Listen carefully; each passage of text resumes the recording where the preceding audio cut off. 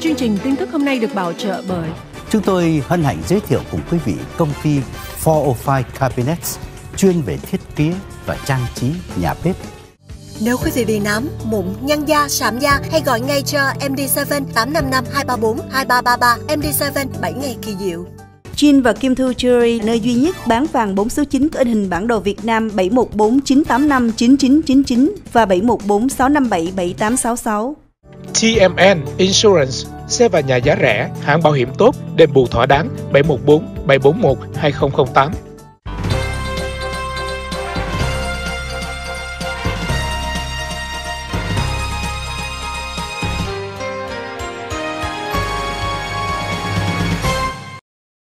Trở lại với quý vị với phần 4 của Thời sự Thế giới và trước thềm bài diễn văn kỷ niệm 100 ngày vào Tòa Bạch Ốc của ông Joe Biden. Cuộc thăm dò đầu tiên là của hãng thông tấn CNN phối hợp với Viện thăm dò SSRS tìm thấy 53% cử tri Mỹ ủng hộ và đồng tình với những gì mà ông chọn làm ưu tiên trong vòng 100 ngày đầu tiên. À, có cuộc thăm dò này nó chia làm nhiều phần thưa quý vị họ hỏi chứ những việc ưu tiên thí dụ ưu tiên bao gồm tái thiết kinh tế và coronavirus, mang khẩu trang, vân vân. Những gì mà ông đề ra làm ưu tiên của ông Joe Biden, quý vị thấy là ok không? Thì à, 53% người Mỹ nói, tôi đồng ý với những nghị trình làm việc ưu tiên của ông Biden. Nhưng có đến 59% nói rằng họ đồng tình với lời hứa của ông Biden. Và họ theo dõi lời hứa này vào điểm ông tranh luận.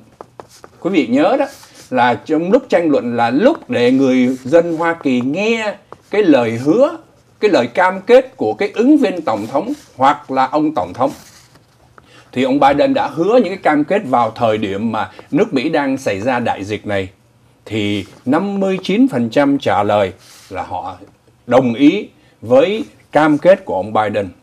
À, điểm đáng chú ý là ờ, cái mức ủng hộ cho ông Biden á, là rất là cao. Tính từ tháng 3 cho đến giờ phút này. Nhìn chung về những gì mà ông làm việc trong vòng một uh, trăm ngày qua đó 66% cử tri. Và thưa quý vị 66% này không phải là dân chủ Cộng hòa mà cả hai bao gồm thành phần độc lập luôn. Những người không theo phe đảng nào hết thì bởi bởi vì các cuộc căm trò dò này họ hỏi tất cả các cử tri mà để mà họ tìm hiểu lẽ đương nhiên ờ, một tổng thống của đảng nào thì cử tri ủng hộ cho đảng đó chẳng hạn có đến 97% người theo dân chủ ủng hộ ông Biden, trong khi chỉ có 30% người theo đảng Cộng Hòa ủng hộ cho ông ờ, Biden mà thôi. Nhưng 30% này so với cái thời kỳ mà bầu cử đó thưa quý vị, nó cao hơn rất nhiều. Điểm đáng chú ý đó, 16% cử tri đảng Cộng Hòa ủng hộ về những cao hơn bình thường ủng hộ cho những gì mà ông đã làm được trong thời gian qua thưa quý vị. À, nhìn chung á, tất cả các câu hỏi mà bên phía CNN phối hợp với viện nghiên cứu SSRS đưa ra đó, đau bao gồm những à, nỗ lực của ông Biden làm việc chung với đảng những vấn đề chính trị, những vấn đề xã hội vân vân. Họ thấy công việc của ông Biden trong vòng 100 ngày ở Tòa Bạch Ốc như thế nào đa số đều ủng hộ và cái mức ủng hộ này đều trên 50%.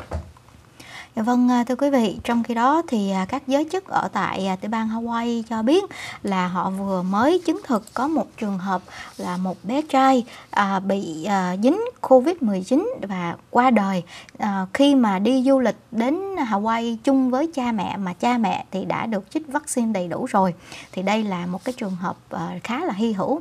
À, bây giờ đó các giới chức à, họ không có cho biết tên tuổi, tên cũng như là cái độ tuổi chính xác của đứa nhỏ bởi vì vì muốn giữ cái um, cái cái cái um, cái privacy cho cái gia đình này. Họ chỉ nói chung chung đó là đứa bé trai này đó là dưới 10 tuổi và cũng không cho biết là cái gia đình này đi đến Hawaii du lịch là cái khoảng thời gian nào.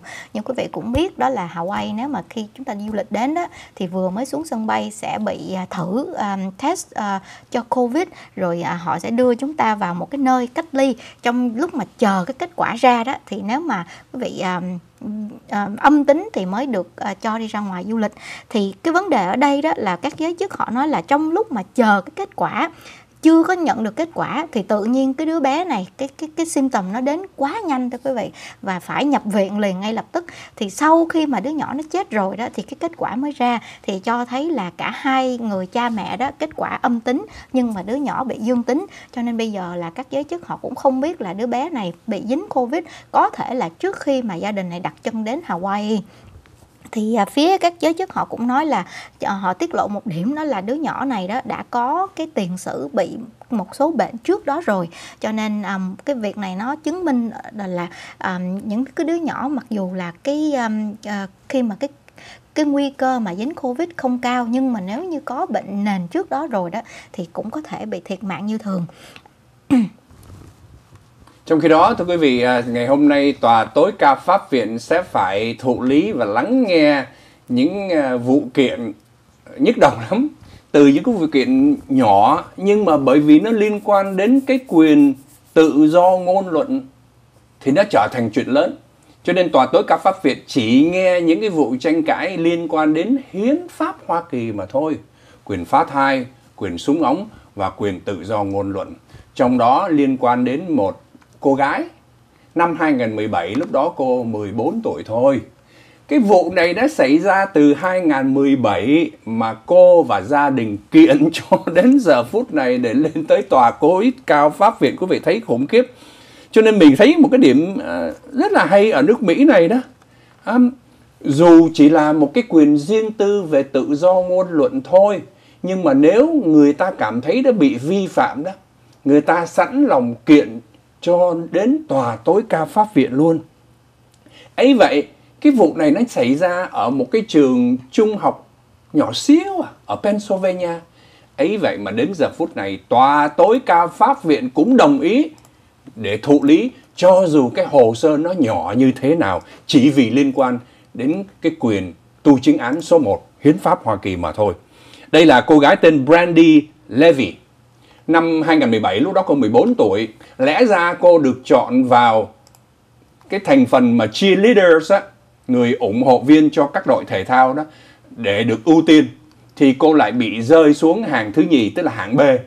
Hạng B thì à, phải chờ đợi cho các chị của mình, hoặc là những cái cô thiếu nữ đẹp hơn, nhảy hay hơn, múa trước rồi mới đến phiên mình. Cho nên cô rất là bực dọc, bởi vì mình sẽ ngồi đó chứ còn chờ cho đến khi mình ra thì nó quá muộn rồi. Cho nên à, cô chán ngán.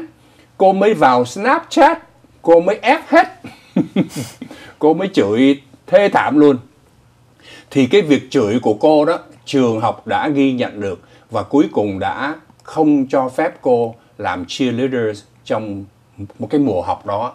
Thế thì vấn đề chính ở đây là tòa tối cao pháp viện sẽ xét đến liệu rằng một học sinh đang học ở trong một trường học có quyền tự do ngôn luận bày tỏ quan điểm ý kiến riêng của mình và cái quan điểm đó có gây hại cho những người khác hay không?